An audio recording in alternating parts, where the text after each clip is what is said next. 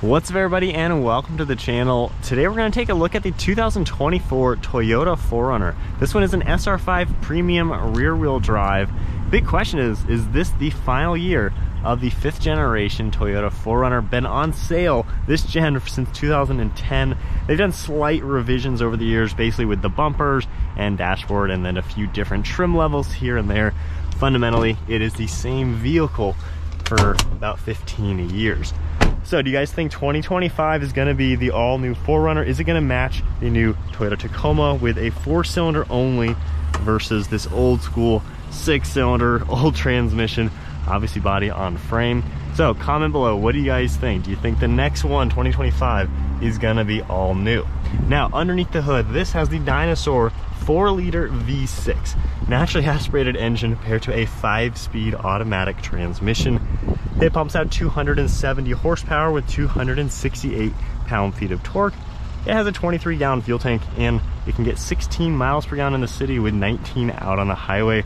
And then towing is about 5,000 pounds. Of course, four-wheel drive is available. This one just happens to be a rear-wheel drive version. Moving on to the exterior styling, this color is underground. This one is about $46,000. It's a really sweet color. I definitely like it for the 2024 model year. You can see just more of a flattish gray. We have the chrome Toyota badge in the front with some whiskers on the side of it. Nice body color design throughout this front grille.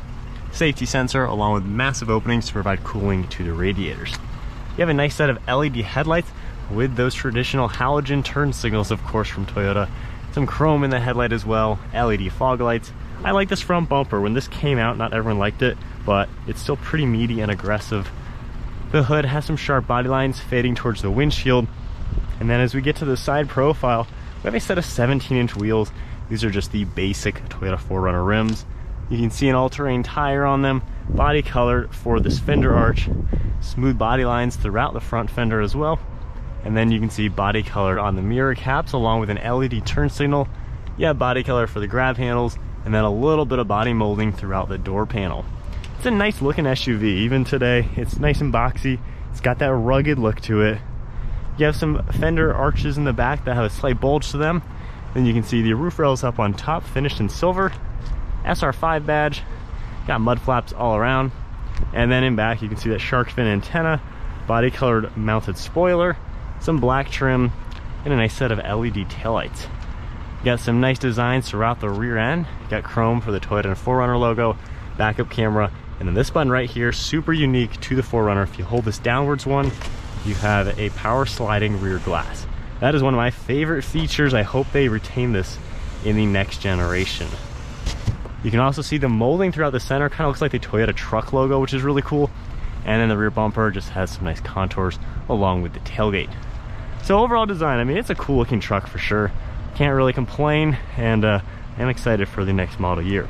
So pressing the button back here, we can manually lift open the lift gate.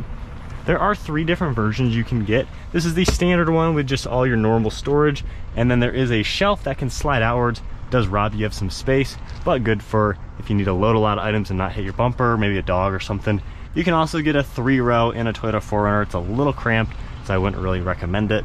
But back here, you got a lot of storage space over the left rear arch, and then you can even pop this open and put some hidden storage in there. On the other side, we have even more storage all throughout it. Got a plug along with a 12 volt, and then I just like how boxy it is. There's hooks all around it, tied on hooks down below incredibly useful. For these back seats, you can even pull this one down, which is great if you're hauling some 2x4s and you got the kids with you, so you can easily use this as a four-person utility vehicle, which is very, very practical. On top of all that, the seats are gonna fold down really easily and very nicely. So if you go ahead and pull these, you can see that will open up, giving you a lot of space. Of course, both sides will do it. Headrests fold down for visibility, but they also fold down to be able to fit nicely. So doing that, they're gonna fold down nice and flat to truly maximize how much space you can utilize this for. On the other side, we can do the same thing. If we lift this up, you can see how you're gonna have that same amount of space and then just reaching over, you can press that button and this will slide down nicely and you have all that space. So definitely a cool SUV with how much practicality you have. How many SUVs are this practical? You also have speakers up on top with dome lights and then different grab handles. You can easily close it. If we take a look into the interior now, of course this will fold all the way flat when you give it a firm pull, but I like how flat the floor is in here. You can haul big items in here. This is a good barrier to where things aren't gonna slide into you. From here, we can just pull this back up, lock it into place, same thing, and pop that back up. This is a pretty decent back row, honestly, for not being a giant SUV. But if we go ahead and close the door, I like how you have a nice armrest right here with cup holders. There are even air vents, storage, a little bit of plugs. You have storage in the door, nice armrest.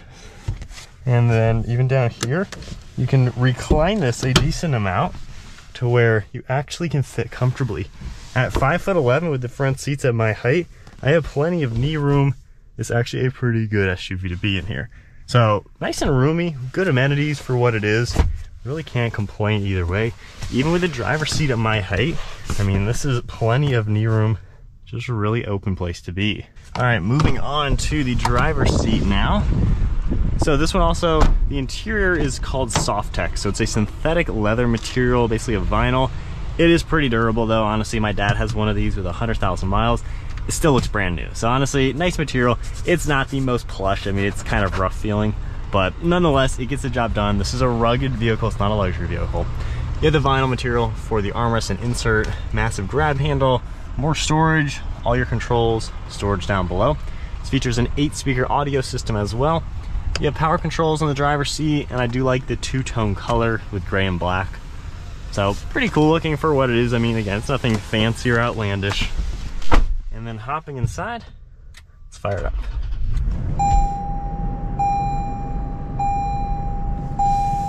So you have a nice display right in the center, cool depiction. I do like the blacked out bezels for the gauge cluster, has a little bit of a sporty look. Basic dashboard as you would expect. Controls on this side, you can configure a few things throughout the center screen. Basically monitor trip information, speed, things like that. And then a few more settings are gonna pop up all throughout the center screen. So again, simple but useful. We have media controls on the left side. You have forward pacing, lane keeping, a few more controls. Cruise control is down here. stock on the right side for all the windshield wipers. Headlights on the left. And then down here we see the auto high beams, interior dimming, and mirror control. One of your air vents and this golf ball texture. Kind of looks like aluminum for this plastic trim. Got your old school clock, air vents, and then the screen here, again, simple. You have three configurable screens. In your home menu, if you go to the actual menu, you can see a few more settings you're able to adjust. Of course, audio, map, a few more shortcuts on the right side. And then going into reverse, you have a pretty good backup camera with guidelines. Again, nothing fancy, however, it gets the job done. You have all your massive dials for climate. You have fan speed on the left. Right side, you have temperature, zones, all different controls with the heated side mirrors and window. A little bit of storage and plugs. More storage down below. The four-wheel drive would be over here. Then you have more storage, heated seats, and the button for that power glass. So once again, definitely one of the coolest features. I hope they retain that on the next gen.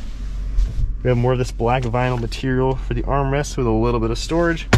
And then your glove box, as you'd expect. One last look at the interior probably the outgoing model. We'll see what comes soon. But nonetheless, it is a very functional vehicle, utilitarian. You have garage door buttons, sunglass holder, along with traction control, and then your mirror. All right, so setting off now in the Toyota 4Runner. As far as the driving experience, it hasn't really changed. It feels pretty much even the same as the previous generation. So the last 20 years of 4Runner pretty much drive the exact same. You're just gonna notice a few more safety features, obviously, in the more modern one, like the lane keeping, radar cruise control, and a few others that you can cycle through. So it's pretty normal in here. It's old school. You know, they haven't changed this a lot, but Toyota is slow to change, honestly. Their vehicles last 10 to 15 years as far as design goes, and that's just how they do it. So if you're looking for the most tech savvy off roader, you know, maybe you want a Range Rover. However, if you want bulletproof reliability, dependability, and just simple, Toyota 4Runner can probably do it all. So when you're in here, good visibility. I like the driving position. You feel up high, but it doesn't feel like a bulky, hard to place SUV. So you can see the hood. You have a very far away windshield that's very up and down. good visibility with all your mirrors, and then over your right and left shoulders. Honestly, there's no blind spots. This thing is so easy to see around, and it's just so easy to use. Now, the seat comfort is pretty good. They're not exactly luxurious or plush seats, I would say. However, sitting here, you know, they're nicely padded. You can get a pretty good amount of adjustments. You can kind of rock the front of the seat upwards a little bit to help cradle you. This old engine and transmission, getting up to some speed, kind of half throttling it. It is not a sports car. It is not fast. The five speed leaves a lot to be desired. Gas mileage is really all not that good. Um, it is what it is. Again, it's nothing too crazy. I'm sure the next gen is going to have the four cylinder turbo and the four cylinder turbo hybrid, probably paired to an 8 or 10 speed transmission. So the five speed again, you know, highway cruising, it does do a good job for the overdrive, honestly. Like it's not crazy high in the revs when you're going higher speeds. Even going about 40 right now, we're only at thousand RPM. So it does a good job. It's just it's not a performance focused transmission to really get you moving. Zero to 60 time is probably around seven seconds. So it'll get up to speed. It's decent for passing, merging on the highway, things like that. Just nothing really peppy about it. It is comfortable though. I like the armrest and everything, and you can even use this upper door sill kind of as an armrest. So it's a cool truck to be in. And I say truck because it kind of feels like a truck. It's a very trucky SUV, especially given it is body on frame. This is old school, how it all began way back in the day. So to still have a 2024 model year SUV that is this old school is kind of remarkable in the fact that they still sell these so well clearly there is a market that loves this design and just this aspect to how an SUV could totally be. Using the interior is also really simple. I mean, these massive knobs, if you're wearing gloves, you know, if you're off-roading or driving in the snow, you know, you can operate this vehicle wearing gloves. So Toyota has made this super utilitarian, especially if you're going to use this as utility vehicle. Maybe you're using this as a work vehicle, quite honestly. You know, my dad's got one, like I said. He's used this as a work vehicle around the house, yard work, stuff like that, and he's in and out of it using it as kind of like a side-by-side, quite honestly. And you can use this when you're doing that sort of thing. So there's a lot going for the 4Runner. I'm sure the next gen is going to be a completely different type of vehicle to where this could be it. You know, if you want this type of 4Runner, this is your last chance to get one. And for this one, obviously, there's no four-wheel drive, which I would prefer four-wheel drive, which is only a little bit more expensive. This one under 50 grand isn't the worst given today's market, but it is a lot definitely for an old vehicle but I think a lot of people still like it. So anyway, overall driving dynamics, yeah, pretty simple, pretty normal, nothing all too fancy about it. Road noise and wind noise is actually pretty decent for being a very boxy SUV. So it's something you can comfortably daily drive, use for the commute, things like that. If you just want a reliable SUV, it's easy to drive around too. Given the amazing ground clearance, low overhangs, you can go anywhere with it, even in a more basic configuration like the one we're in today. So you don't even really need to go TRD or anything like that if you want capability. So even a basic two-wheel drive SR5 honestly is something you can use on the day-to-day -day, wherever you need to go. You can probably do it in a Toyota 4Runner.